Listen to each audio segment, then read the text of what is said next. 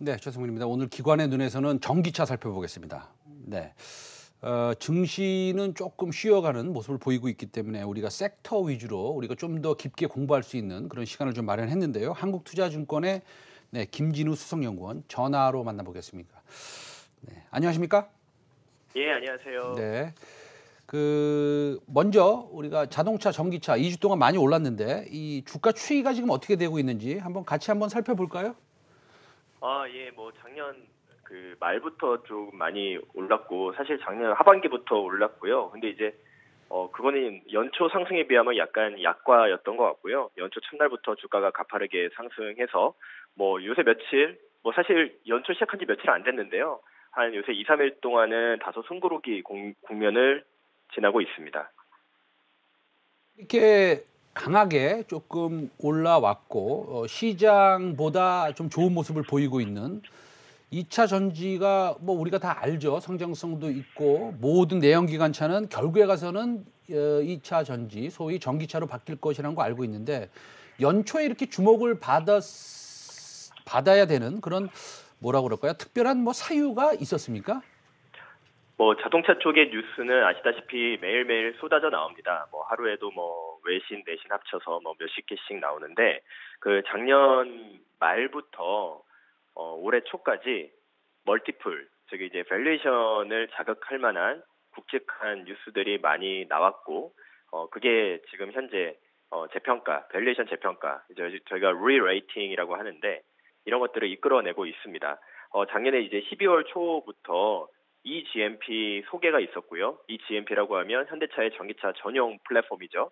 그거에 대한 이제 온라인 설명회가 12월 초에 있었고 그리고 이제 12월 11일에는 CU 인베스터 데이 CU가 직접 나와서 장기 과제를 장기 이제 전망을 얘기했고요. 그리고 연이어서 이제 소프트웨어 회사들의 그 그룹 내 소프트웨어 전문 회사들의 합병이 오토에버를 중심으로 있었고 같은 날입니다. 보스턴 다이내믹스 인수 발표도 있었고 그리고 이제 며칠 있다가 어, LG 전자와 마그나의 조인트 벤처 소식까지 정해 전해지고 또 연말에는 E-GMP 아까 언급했던 E-GMP의 3차 입찰 소식 그리고 뭐 연초에는 아시다시피 애플 이런 것까지 맞물리면서 지금 제가 이제 숨가쁘게 쫙 읊어왔는데 이게 불과 한 달 사이에 전부 다 일어난 굵직한 일입니다. 그래서 이런 것들이 어, 미래차 경쟁력 재평가로 이어지면서 valuation 상승을 이끌어냈다고 보고 있습니다.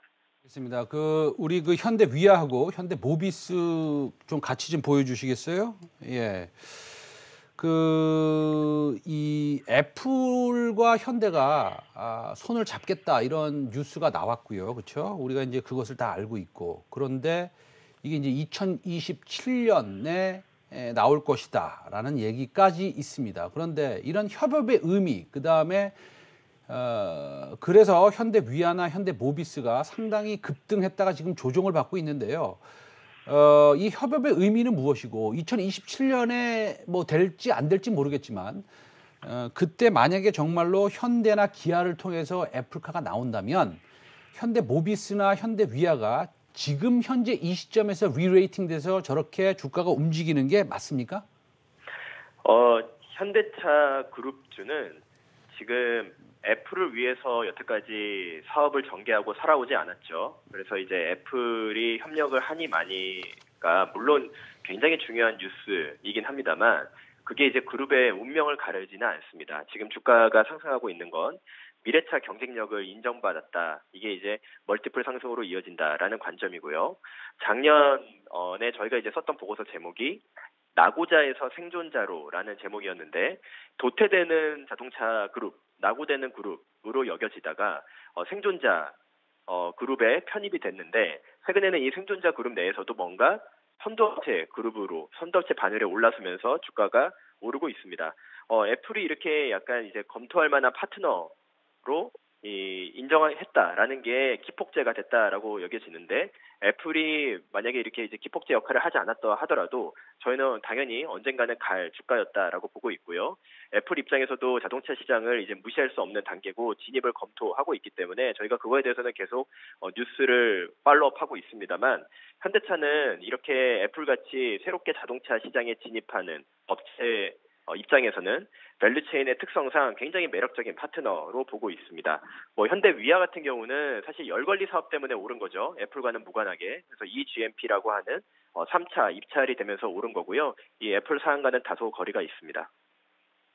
알겠습니다. 어, 다시 한번 좀 질문을 좀 드리고 싶은 게 있는데요. 사실은 두 가지가 있지 않습니까? 하나는 어, 궁극적으로는 어, 내연기관차가 전기차로 전부 다 바뀔 것이고 그게 뭐 10년이 걸리든 50년이 걸리든 언제까 언제는 바뀔 것 같은데 물론 수소차도 거기 들어가 있겠죠. 그러면 어, 우리가 새로운 자동차 회사에서 새로운 모델을 내놓으면서 이게 과거의 모델은 없어지면서 그게 대체 수요가 일어나서 바뀌는 상황에서의 회사의 fundamental과 지금의 내연기관차가 전기차로 바뀌면서 그것도 대체 수요가 될 수 있죠. 그 replacement를 받으면서 하는 어, 그런 상황 두 가지를 우리가 만약에 예를 놓고 본다면 전기차로 바뀌는 상황이 상황에서 뭐 거기에 들어가는 전기차 부품이라든지 아니면 뭐 powertrain 모터라든지 여러 가지 이런 것들이 어, 소위 말해서 valuation이 rerating 될 수 있는 그런 근거가 어디에 있겠습니까? 기본적으로 전기차 또는 우리가 미래차라는 개념으로 좀 더 확장해서 보면 어, 부품이 몇 개 안 들어가고 반면에 단가는 오릅니다. 우리가 미래차라는 거 이제 말을 하면 당연히 이제 전기 동력원을 가지고 있을 테고 자율주행 기능이 탑재가 돼 있을 테고요. 어, 다른 이제 차량 또는 인프라와 커뮤니케이션이 가능한 connected car일 테고 뭐 넓게 보면 이제 차량 공유까지 가능하겠죠. 이런 기능들을 전부 다 탑재하려다 보면은 뭐 당연히 가격도 올라가고 소비자 가격뿐만 아니라 원가도 올라갑니다. 그 과정에서 사실 필요한 부품들이 내연기관에 비해서 줄어들기 때문에 여기에 참여하는 부품 생태계로서는 부가가치가 좀 더 크다. 그래서 말씀하신 대로 단순히 우리가 replacement demand라고 하셨는데 이런 교체 수요를 대비하는 게 아니라 이 차종이 진화하면서 자동차 업체부터 부가가치가 높아지죠. 소프트웨어를 별도로 판매할 수도 있고 어, 또 데이터를 외부에 판매할 수도 있고 테슬라와 같이 이미 자율주행 판매를 통해서 그걸 보여주는 업체들이 있습니다. 여기에 참여하는 또 기여하는 부품 업체들은 어, 여러 가지 이 관점에서 또는 이렇게 새롭게 자동차 업계에 뛰어드는 업체들 관점에서는 어, 굉장히 매력적인 파트너가 되겠죠. 그래서 완성차, 경쟁력 있는 완성차 업체뿐만 아니라 전장 부품 업체, 핵심 부품 업체들도 재평가가 이루어지고 있습니다. 알겠습니다. 그 말씀 어려운 질문 답변 주셔서 감사드리고요. 그 일단은 그러면 소재 업체들 있지 않습니까? 우리가 잘 아는 소재 업체들 뭐 여, 많습니다. 예, 포스코부터 시작해서 에코프로비엠, 뭐 천보 굉장히 많은데 뭐 우리 그 우리 그 수석 연구원님 잘 아시겠지만 어, 굉장히 높은 PER로 거래가 되고 있는 것도 사실입니다. 근데 올해는 E-GMP가 이제 뭐 데뷔하는 첫 해고 아, 그래서 사실은 powertrain이나 모터나 뭐 이쪽에 들어가는 여러 가지 중요한 부품들을 만드는 부품사들이 조금 rerating 되는 것 같은데 올해는 그러면 만약에 소재 업체도 배터리 소재 업체도 있고 이런 전기차 부품 업체도 있고 그런데 어떤 어떤 분야가 조금 더 매력적일 수 있다고 생각하십니까? 어, 사실 뭐 제가 어려운 질문 답변 드렸더니 더 어려운 질문을 해주셔가지고요. 어, 사실 왜냐면 뭐 아시다시피 뭐 제가 이제 어, 배터리 소재까지 직접 담당하고 있지 않고 제 나름의 의견은 있지만 네네네. 아 예, 죄송합니다. 우선순위를 예. 하는 음. 건 좀 그렇죠. 그래서 네. 제가 제가 제가 담당하는 분- 분야에서의 약간 이제 시사점을 말씀을 드리면 네.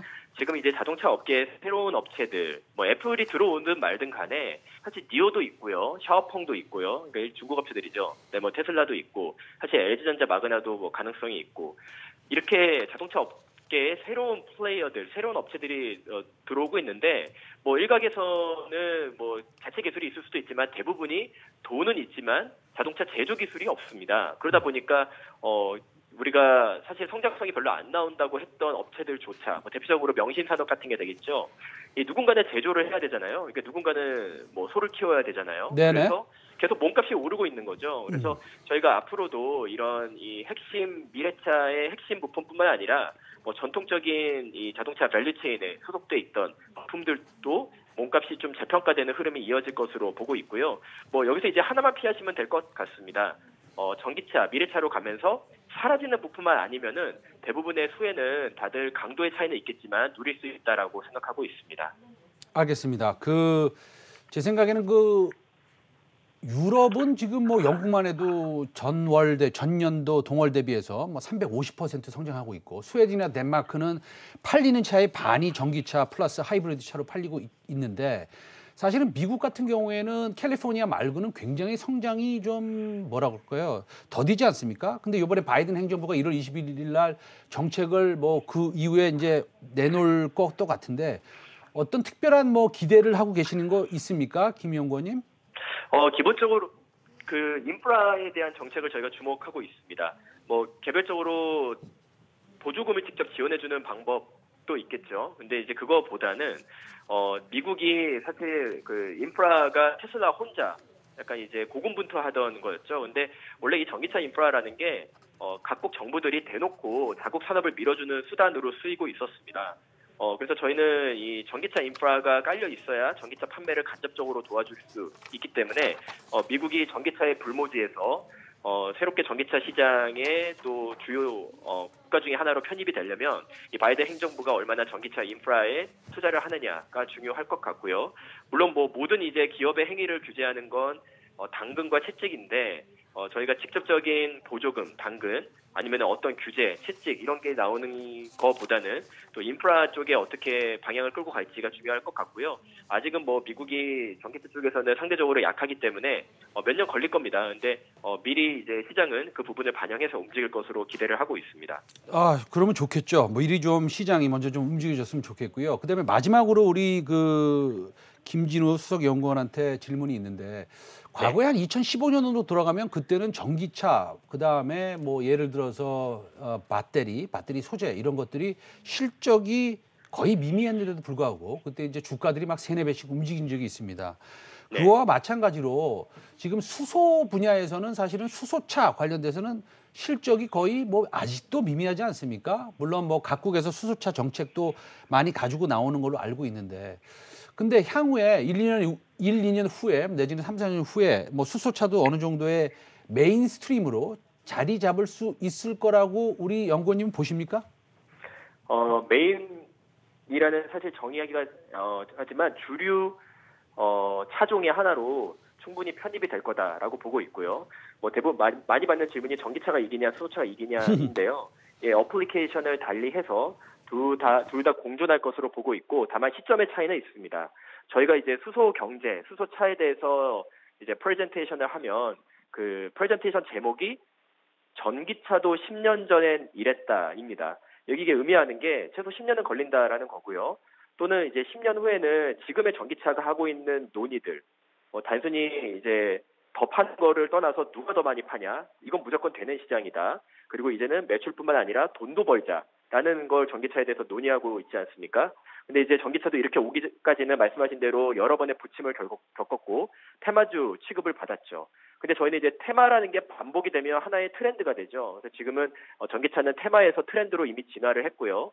뭐 수소차는 테마주의 영역이다 보니까 당연히 부침은 있겠지만 이 친환경 정책이라는 게 단순히 한두 개 국가의 정책이 아니라 파리 기후 협약이라는 글로벌 헌법 이 기저에 깔려 있기 때문에 저희가 시간 문제다라고 보고 있고 전기차의 성장 경로를 이미 본 투자자들이 수소차가 10년이 걸리더라도 미리 저금리 상황에서 베팅에 나서고 있습니다. 그래서 수소차는 뭐 말씀드린 대로 이 무조건 성장하는 컨셉이기 때문에 그 안에서 10년 후에도 살아남을 기업들, 컨셉, 이 테마들에 대해서 투자를 한다면 저희는 언젠가 트렌드가 돼서 전기차처럼 높은 수익으로 보답하지 않을까라고 생각하고 있습니다. 아, 감사합니다. 예.